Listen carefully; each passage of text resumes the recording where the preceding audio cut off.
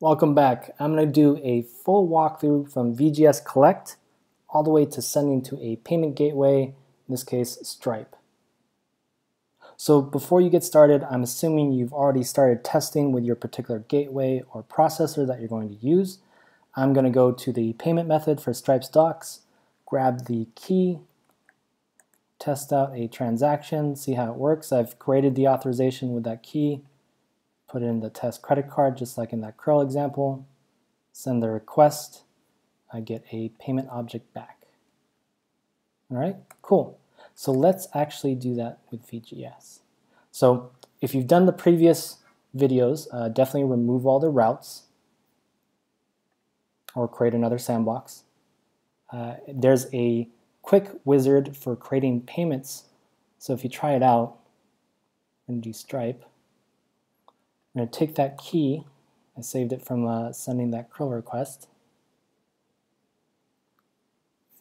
It's going to set up the routes. So this will handle the routes for you, set up the logging, and then create a zip file of an actual project where it has the VGS collect and it has a Python server to send the request on the back end.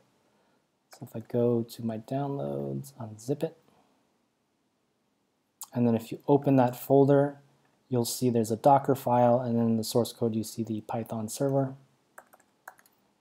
So I'm already, it's my old one, let me cd into downloads again, cd into VGS payments. All right, cool. So if I do docker up, copy this. So I've unzipped it, docker up, it's going to go ahead and build this container. As soon as it's done building, it'll have the steps that you need to follow to complete the flow. So right now the dashboard is going to have the routes being created and then once that's that's uh, well it's already created but once the actual container is generated we need to still set up a upstream for the inbound route. So if you look up a little bit it's going to have you go into the inbound route. You Go back here, inbound route. All right, so instead of using the echo server, we actually want, uh, want to use ngrok. ngrok is just making your local server available externally, so if we save this, update the upstream. So just pretend this is the server you're sending to, your, your server. That's going to save the, the aliases in your database. And then once that's saved, we're going to go to that public facing website, which is actually the same thing. Right?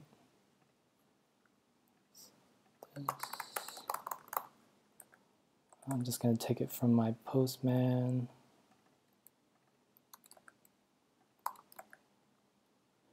05 2021 314.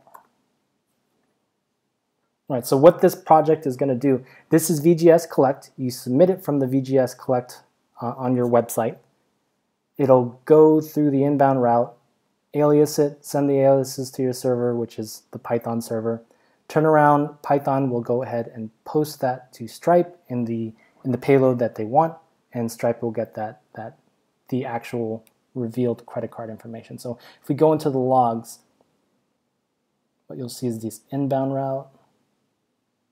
Look at the body. It's aliasing the information on the inbound. Look at the outbound.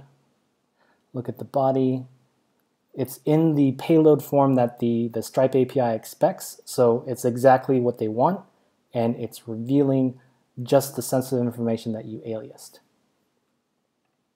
Now, just just to add to it, if you wanted to, if you if you remember setting up the outbound route with with uh, Postman, if you tried to send it with those aliases, you should get a it should get an incorrect credit card.